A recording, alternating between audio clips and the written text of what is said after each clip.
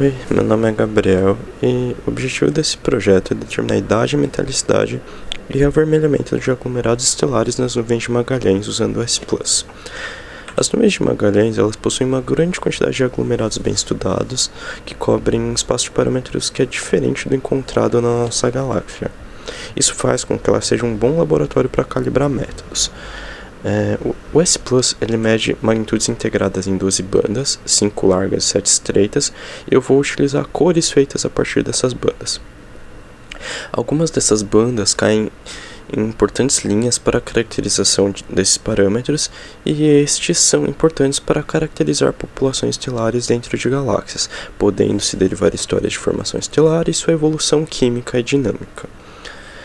Foram utilizados modelos de população estelares simples do Parsec para determinar idade, metalicidade e avermelhamento dos aglomerados estelares através da minimização do quadrado. Cada parâmetro foi ajustado separadamente com uma combinação de cor específica para ele, com o intuito de quebrar a degenerescência entre esses parâmetros.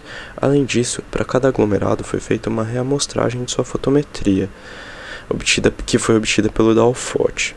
Essa amostragem foi feita utilizando o método de Monte Carlo para obter os percentis e verificar a variação dos parâmetros ajustados para cada um. Aqui a gente tem um output do programa que foi escrito para o aglomerado NGC 121. Os histogramas mostram os valores ajustados para cada parâmetro, idade e metalicidade, enquanto no gráfico do meio é, quais as combinações de parâmetro foram mais ajustadas, como dá para ver no, nesse gráfico de densidade. Para este aglomerado, a gente vê que teve uma boa recuperação dos parâmetros.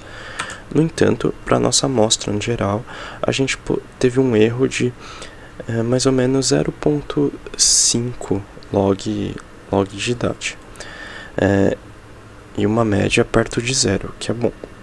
Já na metalicidade, a gente obteve é, erros é, mais ou menos na mesma, na, mesma, na mesma escala, mas o que a gente espera para os próximos passos é que aqui a gente obteve essa, essa faixa um pouco sistemática entre 9, log de idade 9 e 10, que a gente quer usar regressão linear para conseguir melhorar os resultados da idade e, consequentemente, pela degenerescência, melhorar os resultados de metalicidade também.